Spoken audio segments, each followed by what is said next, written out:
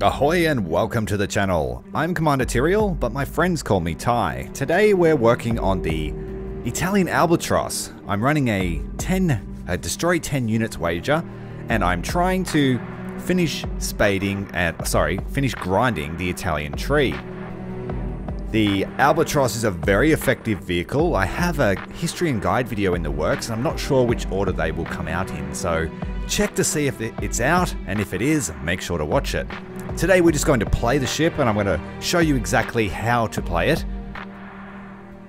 Taking a few HEVT shells, just a reminder that this ship has magazines, drum magazines, so each of those is 14 rounds. Playing like a typical frigate, you spawn in the destroyer spawn, which can be deadly on some maps, so keep in mind when and where to spawn. But this map is usually fairly good for this boat. Getting underway, making sure everything's set, making sure I've got enough sustenance in the form of a beverage, and we'll get some targeting underway. Looks like a Japanese frigate out here in the distance. So we're going to put some highly accurate fire on them. And it's just a matter of spraying it around the lead indicator and you should get some hits. Very accurate. 14 shells to the reload, and then it's about 7 seconds with my expert crew. Got some hits there on the Japanese ship. We'll give another salvo. I really like this gun. This gun is amazing, the SMP-3 76mm. Didn't have the best history in real life, but as is the case in War Thunder sometimes, they perform exceedingly well in the game meta. The fact that this gun does not have an overheat function, or feature if you want to call it that, means that you are accurate all the time and you don't need to worry about cooldowns. I would much prefer to manage a reload than manage weapon heat. And the, the shells are very potent, high explosive shells, and so it has my vote for the best 76mm gun in its class. Obviously, the SKR has more 76mm guns, but if you were to put them one to one, I would say that this is a better, better weapon of choice. So my goal is to slowly but surely make my way to the alpha point. Part of the role of this ship is you will fight destroyers and you will fight coastal. And sometimes you will fight one, and sometimes you will fight both. In the case, it looks like we have both coastal and destroyer players, which is a really nice placement. 4.7 fighting lots of destroyers can be difficult. So we have destroyers to the left and coastals to the right. And baby, I'm stuck in the middle with you. Let's get some fire underway. The rangefinder is amazingly good. I don't really need it, but it is great for working out what maneuvers the ship is making at distance. A couple of AI boats, fairly easy to swat. The 11mm of penetration and, and the drop on the shell lets you get through the deck armor of those river boats at, at range. A little bit thirsty today, so don't mind me while I have another drink. Looks like we have a PT 565. Put some fire out onto him. Is it a 565? It looks no, it's a devil boat. It's got rockets on the front.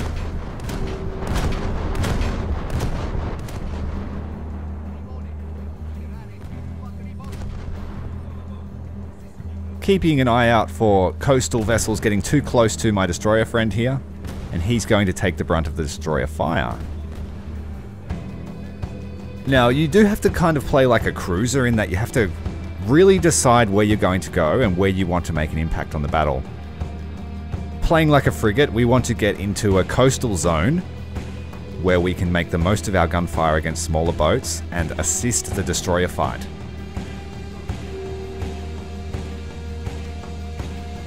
If these zones are being pushed heavily by destroyers, which are much faster than us, we'll soon know as we crest this point Trying to get some fire in on this German minesweeper, but he's a little bit close to that hill.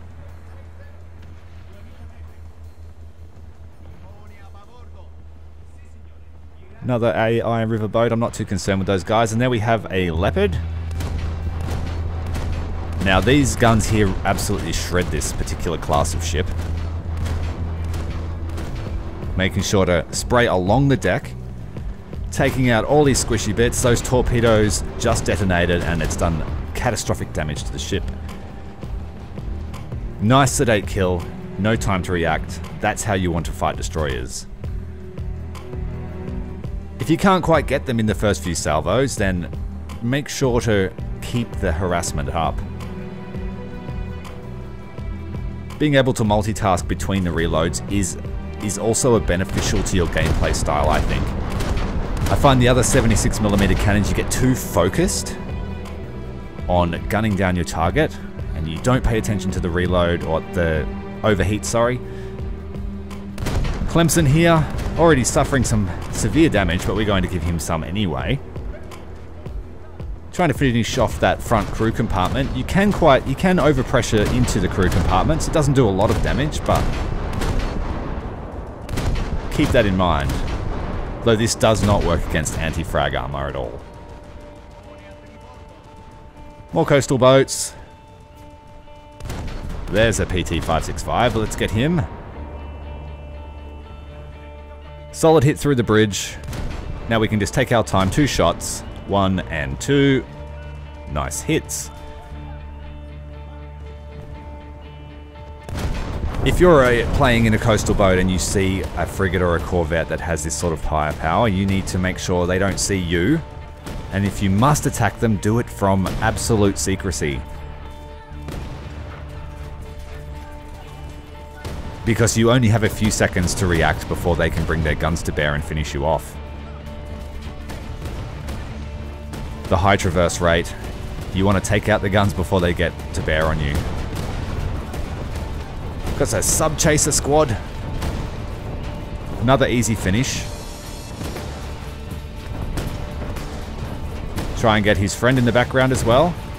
We are taking a fair amount of damage from this AI riverboat, so just getting in the way. But they are extremely accurate with their 40mm guns.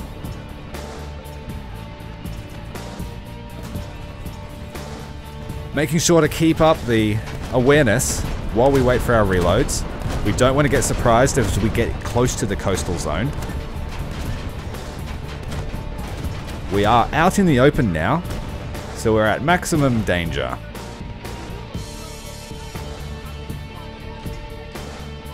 This guy is not focused on us, so we'll put a little bit of damage. These ships take a lot of damage to their torpedo bays. They have a lot of torpedoes, and when they're repaired, you lose a lot of crew every time you take them out. Project 123, we'll take him out. Only takes a few salvos on such a light boat. And so the the match isn't looking too good, and we have no real way to contest this capture zone dilemma. We just have to slowly but surely make our way towards the zone and hope that one of our teammates can get there first, and if not, get there as soon as we can, and then really try and put pressure on the other team to try and get their ticket bleed really swinging. Clearing off the decks of this Kerch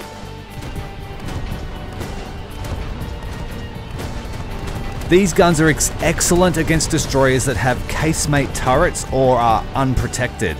They can still get through most turrets, but it's much easier against those sh uh, ships that don't have turrets because of the shrapnel that flies and obliterates everyone on the guns. Oh, here we go, an Albatros. The German variant, much smaller, but still fairly well armed with the OTO Melara. If he had his AP rounds fitted, he would probably do an obscene amount of damage. W wait a minute. I actually don't think they get AP rounds. My mistake. I think they're cursed with HE as well, but don't quote me. I haven't played the Albatros a lot for the German tree. I'm waiting till it gets its exocet missiles and then I'll play it. Having those things on it is just a giant tease. Oh, we have a Jaguar. That thing will shrek us with its 40mm Bofors. Absolutely brutal amount of damage. and I haven't played much of that boat yet. I have unlocked it, but I intend to, to play it soon. We have an airstrike inbound. We'll put out some shells to try and get a sense of where he's at. The radar indicator is not always totally accurate, it's just a guide. So we're going to turn away a little bit so we're moving away from him, try and minimize the closure distance. It will push us slightly out of the capture zone, but if we don't survive, it won't matter if we get to the capture zone or not. Inbound, that's now's the most potent time to fire when they're straightening out for their attack run. Oh, we detonated his boats and the Jaguars come around. We've lost ability to reload, so always switch to your secondaries. We were caught in a reload cycle. That was just poor timing. Fortunately, he didn't do much more damage. And we're making it to the capture zone with just enough time. And this is the theme of this, this vessel. Unfortunately, you are at the mercy of the capture zone tickets. And so it, it can be wise to play with friends if you have any that play naval. Generally, by the time you get this boat, though, you'll be extremely experienced in how to play coastal because it is one hell of a grind. And even myself have not yet unlocked this vessel. I was given a test drive and I've furiously used it to unlock the rest of the Italian tree because I must say it is one of the harder coastal grinds. Simply through a lack of options. And their weaponry isn't really up to par. So our gunners managed to take down that BF-110 without any of our assistance. So we'll do a J-turn here into the capture zone. I like to call that the Governor's Palace, or the Governor's Villa. So we'll load up the Governor, and then we'll head off to another capture zone. We have stabilized now. As long as that uh, Charlie Point stays on our team, we should win this battle. I'll just pick on this AI while I wait for my drum magazines to be reloaded into the ship. And see how close that was? You know, there's not there's probably like a thousand tickets left. And so that may frustrate some players. But if you do your most to affect the outcome of the coastal battle at the start, then hopefully it won't come down to this sort of thing. My first few games in this ship were a little bit annoying because I had been playing uh, fast PT boats and fast attack boats all the week prior. So I wasn't used to the slower nature play of this ship.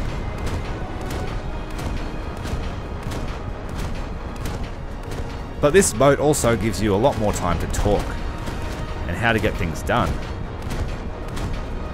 Despite the reload, you can also use continuous fire by alternating between the fore and aft turrets like I'm doing here, using my ranging fire to start the cycle.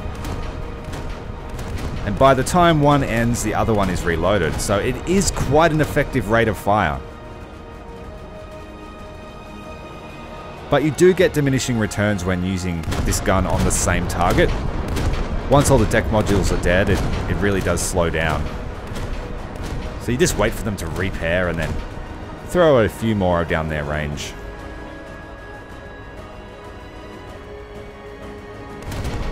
Every time the reload cycle completes, which is very slow, you get one drum per gun. So I've had a few battles where I've run exceedingly low on ammunition, and I've had to pretty much stay on a capture zone.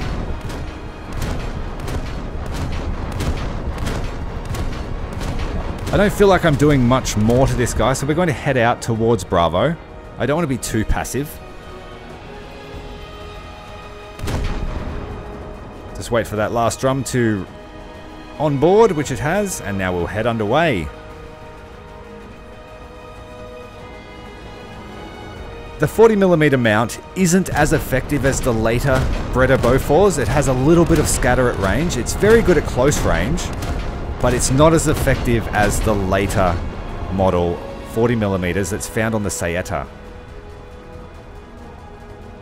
It also only has one access to one type of shell, the HE-IT, I believe it is. Whereas the later ones, they have the proxy fuse rounds, which are brutally strong against aircraft.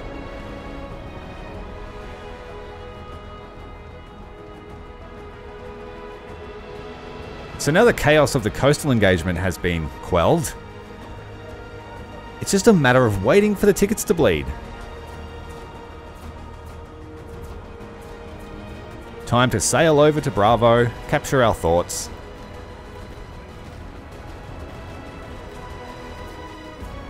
And the ammunition costs are actually reasonable. It's 160 silver lions for a drum of uh, drum of ammunition, which is 14 rounds, and you can carry 72 on board.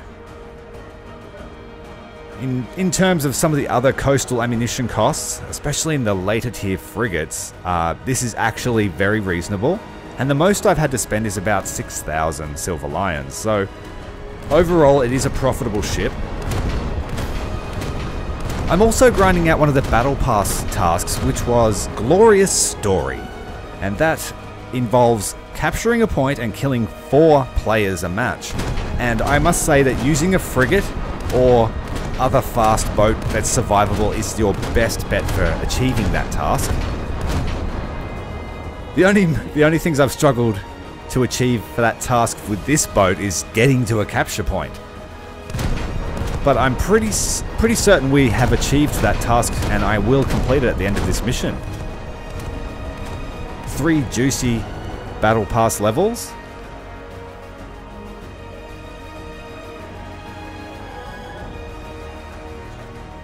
And I guess this is just an example of what you can get from War Thunder Naval. If you want fast paced action, play a fast boat, fight bigger ships, if you want to just take your time and plan out a mission, get an engagement underway, and see that profit, play something like a frigate. 17,000 damage, 11 kills, 2 aircraft, 3 assists, and a capture. Now, a few of those kills were AI, but the rest were players. We get the Terror of the Sea, Survivor, and Wingman, I think. As well as destroy 10 units. And the glorious story. Play 15 missions destroying at least 4 players' vehicles and capturing his own. Hope you've enjoyed this video. Make sure to check out my guide. Until next time, Commander Tyrael, out.